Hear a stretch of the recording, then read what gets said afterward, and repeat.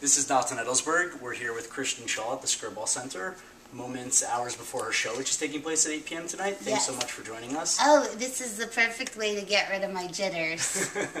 Great. So I know you went to Northwestern University.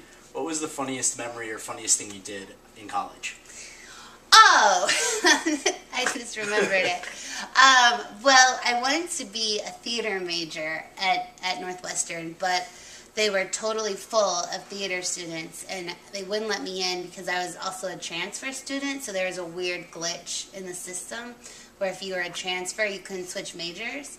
So I staged a guerrilla performance in the dean's office involving uh, some new friends I made and a classical guitarist. And basically, we did Greek tableaus.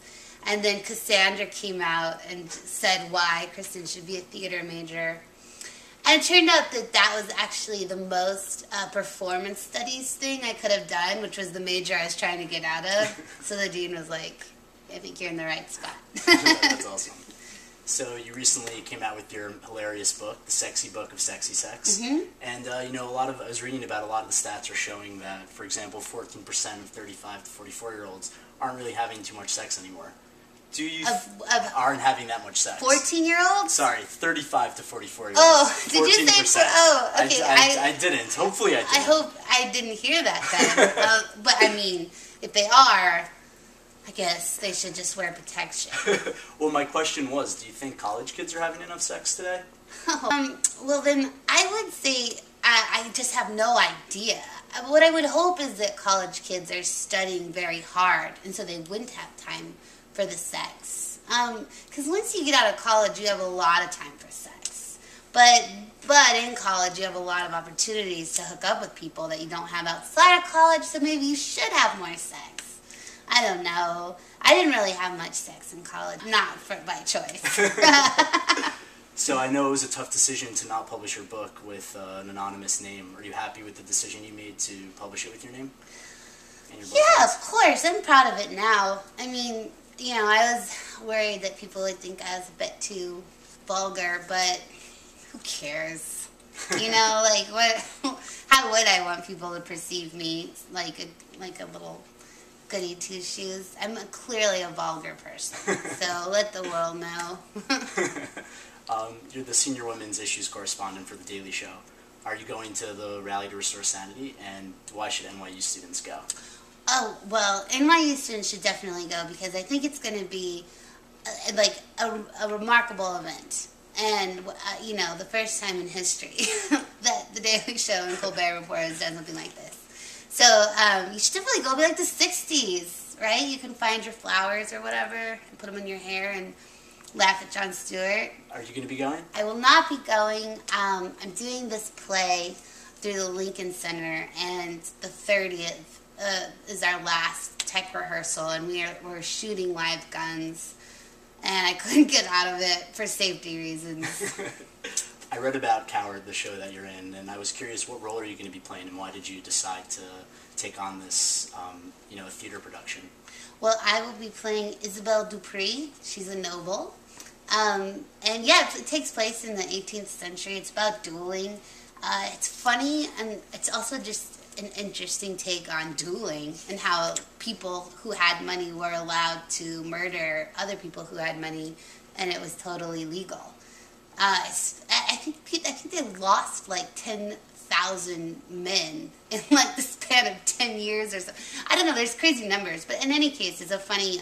It's funny to me how history keeps repeating itself with that, and how if you watch like Dominick Dunne, Power and Privilege, which is a spooky show, but it's just about how people who have money can like play with the system and get off. So it still doesn't cease to happen even now. But it's a funny play, and I get to have a fake accent and you know shoot guns. Who would pass that up? pass that up? Um, you were in, you were, you guest starred in two of the top comedies on TV today, Modern Family, and a couple years ago, How I Met Your Mother. Do you have a preference on which show you think is funnier, or which you like more? um, I like them both. I don't know. Uh, they're both good. They appeal to people in different ways. I enjoyed Modern Family more because um, uh, because it was a single camera. uh, multi-camera sitcoms are harder for me to grasp. Um, even though they're like plays, I guess it shouldn't be. Yeah. They're both great. Yay! uh, the casts are wonderful Yeah. on both. I mean, I had long-lasting friendships. Not, but I mean, I could have. I'm sure if I had more of a reoccurring. So you played Trixie, the dinosaur in Toy Story 3 that was out this past summer. Are you ever worried about children maybe googling your name and you know seeing the sexy book of sexy sex instead of Toy Story 3? Yes, I I was worried immediately, but I'd already been like knee deep into the process of writing the book when I when I got the job for Toy Story three. So there's no turning back.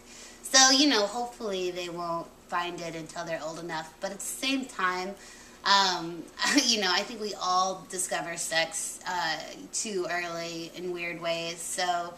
You know, what are you gonna do? If they don't find out about sex through my book, I'm sure they'll find it Totally. on the internet. well, well, yeah. So two more questions. First, I have to ask, who do you like better, Brett or Jermaine? Oh, I like them both the same. And final question, um, if you were gonna start a band today, what would you call it? oh, that's a good question for the for the music festival. Yeah, Hmm. CMJ, which is happening right now. Yeah, CMJ. If I was, oh, that's great. Uh, what would I call it? I ha- you know, this is this is a great question because this is a stumper for the ages. I mean, this is like harder for a band to come up with than coming up with like a hit single. Um, You can get back to us too. It's totally fine. yeah, I might have to get back to you on that because it's got to be good. Yeah, Maybe um, uh, Calamity Jane. Calamity Jane. That's pretty good. How come Calamity Jane? She was awesome. Old West, Nice. you know. I guess I'm in that world right now. Yeah, Yeah. I'll call it Calamity Jane. Great. Well, thank you so so much. Uh, it was a pleasure meeting you, and uh, You too. can't wait for your show tonight. Yay! Woo!